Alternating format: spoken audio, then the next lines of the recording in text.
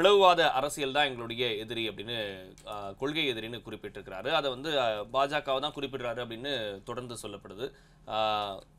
செல்வம் sir உங்களுடைய முதற்கட்ட பார்வை நிறைய அரசியல் தலைவர்களை நீங்க பார்த்துருக்கீங்க. இதற்கு உங்- உங்க நீங்க ஏற்கனவே இருந்த கட்சியாகட்டும் இப்ப இருக்கக்கூடிய கட்சியாகட்டும் மிகுந்த ஆழத்தன்மையோட பேசக்கூடிய ஆட்கள் இருக்கக்கூடிய கட்சி. இப்போ விஜயனுடைய இந்த கன்னி பேச்சு முழு அரசியல்வாதியாக அவர் மாறி இருக்கிறாரு அவர் சொன்ன சொல்லக்கூடிய கருத்துக்கள் எப்படி இருந்துச்சு? இந்த முதல் மாநாட்டை அவர் எப்படி நடத்திருக்கிறார் சீ தமிழ் தொலைக்காட்சி நிறுவனத்திற்கு நெறியாளர் சகோதரருக்கு என்னுடைய சக பங்கேற்பாளர்களுக்கு தொழில்நுட்ப கலைஞர்களுக்கு வணக்கம்.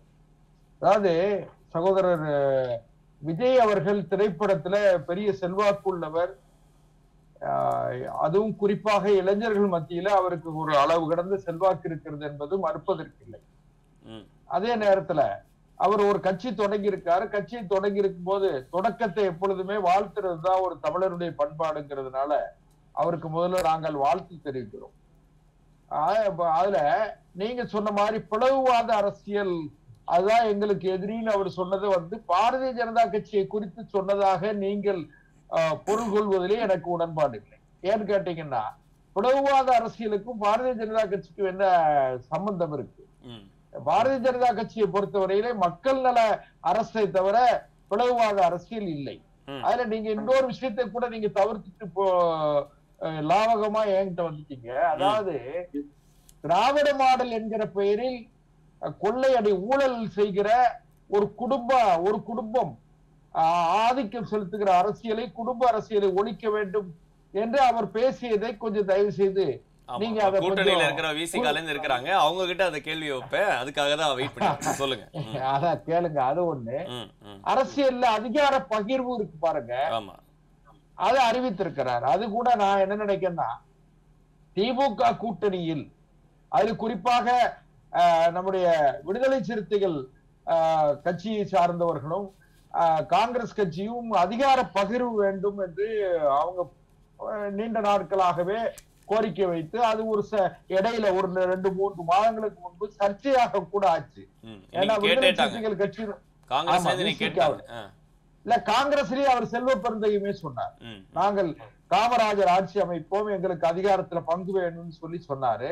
இன்னைக்கு கூட நீங்க பாத்தீங்கன்னு சொன்னா அவரு நாடாளுமன்ற உறுப்பினர் காங்கிரஸ் கட்சியை சார்ந்த நாடாளுமன்ற உறுப்பினர் மாணிக்க மா- தா- மாணிக் தாகூர் கூட விஜயனுடைய கருத்துக்களை வரவேற்று இருக்கிறார் அது இது தொடக்க நிலை என்பதாலே நாம திரு விஜய் அவர்களை கடுமையாக விமர்சிப்பதற்கு அவர் அவர்கிட்ட வந்து என்ன கொள்கை திட்டங்கள் என்று சொல்லி சொன்னீங்கன்னா நான் ரொம்ப குறிப்பா அதுல ஒரு கொள்கை திட்டமாக எடுத்துக்கொள்வது என்னன்னு கேட்டீங்கன்னா ஒரே ஒரு விஷயம் தான் அதுல வந்து ஊழலை எதிர்ப்பது என்று அவர் முடிவெடுத்திருப்பதை நான் ஒரு அவருடைய கொள்கை திட்டமாக நான் அதை பார்க்கேன். மற்ற எல்லாமே பாத்தீங்கன்னா எல்லா கட்சிகளுமே அரசியல் கட்சிகள் ஆரம்பிக்கிற பொழுதெல்லாம் சொல்லுகிற தமிழ் ஆட்சி மொழி தமிழ் அலுவல் மொழி தமிழ் வழக்காடு மொழி மாநில சுயாட்சி இதெல்லாம் வந்து நீண்ட காலமாக பேசிக்கிட்டு எல்லா கட்சிகளும் பேசிக்கிட்டு இருக்கிற விஷயம்தான். அதனால அவர் மத்திய அரசாங்கத்தை குறை சொன்னதாகவோ பாரதிய ஜனதா கட்சியை குறை சொன்னதாகவோ நீங்கள் பொருள் கொள்ள வேண்டிய அவசியம் இல்லை. அதனால அவரே ஆட்சி எல்லா க- அரசியல் தலைவர்களுமே ஆட்சி அதிகாரத்திற்கு வரணும். தங்களுடைய கட்சி தான் தலைமை பீடத்திற்கு வர வேண்டும் என்று நினைக்கிற உரிமையை உரிமை அவர்களுக்கு இருக்கிறது.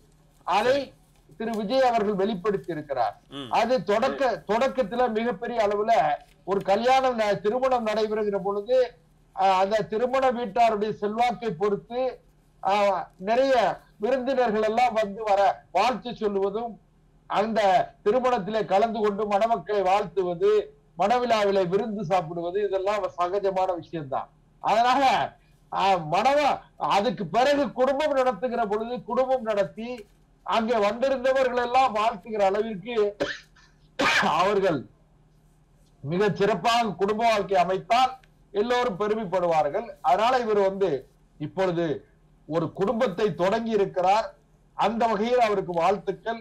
அவர் இன்னும் அடுத்தடுத்து எந்த கட்டங்களுக்கு வரப்போறாருங்கிறத தெளிவுபடுத்த வேண்டிய பொறுப்பு அவருக்கு தான் இருக்கு.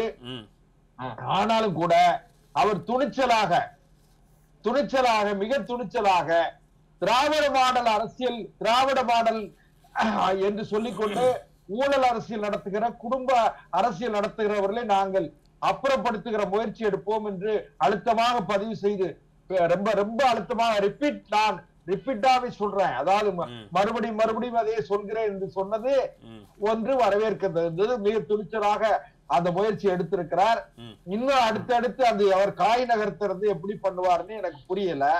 ஏன்னா பெரியாரு வேண்டும் பெரும்பாலும் வேண்டும்னு சொன்னீங்கன்னா அது ரொம்ப கான்ட்ராடிக்ஷன் ஆயிரும். அதாவது முரண்பாடு ஆயிரும் அதைத்தான் அவர் எல்லாருக்குமா எல்லாருக்கும் எல்லாம் எல்லாருக்குமான ஆட்சி அப்படின்னு ஒரு குறிப்பிடுறாரோ என்னமோ. இல்ல அவர் சொன்னதே நான் கவனிச்சேன். சாமி கும்பிடுறவங்க. சாமி கும்பிட்டுக்கோங்க சாமி கும்பிடாதவங்க சாமி கும்பிடாம இருந்துக்கோங்க அப்படின்னு சொல்றாரு. இல்ல அதுல என்ன விஷயம்னு கேட்டீங்கன்னா அண்ணாவினுடைய கொள்கை அது திமுக எனக்கு எனக்கு எங்களுக்கு வந்து ஒண்ணு சிரமம் இல்ல. அது அண்ணா சொன்னதை வந்து ஒன்றே குலம் ஒருவனை தேவன் என்று சொன்னார். பெரியார் இடத்தில இருந்து அண்ணா வேறுபட்டு வந்த பொழுது. ஒன்றே குலம் ஒருவனை தேவன் என்று சொன்னார். அதே இவரும் வழிமொழிந்திருக்கிறார் அதே நேரத்துல நான் என்ன நினைக்கிறேன்னு கேட்டீங்கன்னா இவர் சொல்லுகிற அது அந்த மாநில மாநில உரிமைகள் மாநில பிரிவினை இதையெல்லாம் யார் செய்யறாங்க வந்து ரெண்டாவது சுதந்திரம் பெற்ற இத்தனை ஆண்டு காலத்துல தமிழ்நாட்டுல ஆட்சி அதிகாரத்தில் இருந்த எல்லா கட்சிகளையும் இவர் குற்றம் சாட்டுவதை விட்டுவிட்டு இவர் குறிப்பிட்ட அளவிலே எந்த எந்த திசையில யாரை எதிர்த்து அரசியல் செய்ய போகிறார் இவர் படித்து விட்டு வேலை இல்லாமல் இருக்கிற இளைஞர்களுக்கு வேலைக்கான என்ன திட்டம் வைத்திருக்கிறார் எந்த வகையில் பொருளாதார முன்னேற்றத்தை கொண்டு வரப் போகிறார் என்பதையெல்லாம் இன்னும் காலங்கள் தான் அதை தெளிவுபடுத்த வேண்டும். வர, வர, டைம். தேவைப்படும். அதான் அது கொஞ்சம் டைம் தேவைப்படும் தான். நாம. இன்னொன்னு தொடக்க நிலையிலேயே நாம வந்து கடுமையா விமர்சிக்க விமர்சிக்கிற அளவிற்கு நேற்றைக்கு ஒரு பெரிய செய்தி இருந்ததாக எனக்கு தெரியல. அதனால தொடக்க நிலையில நாம வந்து அத இல்ல வந்து நீங்க ரொம்ப ஆ- முரண்பட்ட- தொடக்க நிலையிலே நீங்க ஒரு விஷயம் சொன்னீங்க. எங்க என்கிட்ட நீங்க ஏன் திராவிட மாடல் அரசியல வந்து அவர் தப்பா சொன்னாரேன்னு சொல்லி அது பேசு பெரிய பேசு பொருளா இல்லையா? அது ஒரு பெரிய பேசு பொருள் அது? கண்டிப்பா கண்டிப்பா. திராவிட பேசு பொருள் இருக்கு. இல்ல திராவிடமே இல்லைங்கிற கருத்துல நான் அழுத்தமா இருக்கேன். திராவிடம் எங்கே இருக்கிறது? எது திராவிடம்? திராவிடம் மண் சார்ந்ததா. இனம் சார்ந்ததா? மொழி சார்ந்ததான்னு கேட்டா அவங்க சொல்றவங்களுக்கு பதில் இருக்கணும். அதனால திராவிடம்ங்கிறதே வந்து ஒரு மாயை கட்டமைக்கப்பட்ட ஒரு மாயை. திராவிடம் என்பது எப்ப இருந்ததுன்னா ஆயிரத்தி தொள்ளாயிரத்தி ஐம்பத்தி ஆறுல மொழிவாரி மாநிலம் பிரிக்கப்பட்டது இருப்பா பிரிக்கப்படுவதற்கு முன்பு திராவிடம் இருந்தது. மொழிவாரி மாநிலம் பிரிக்கப்பட்டு என்றைக்கு அண்ணா அவர்கள் தமிழ்நாடுன்னு சொன்னாரோ சென்னை ராஜஸ்தானியாக இருந்து சென்னை மாகாணமாகி அதுக்கு பிறகு தமிழ்நாடு என்னைக்கு வந்ததோ அன்றைக்கே திராவிடம் என்பது இல்லை. ஆந்திரா வேற கர்நாடகம் வேற கேரளா வேற. ஆந்திர தேசம் கர்நாடகம் தெலுங்கானா ஆஹ், கேரள தேசம் ஆயிடுச்சு அதனால.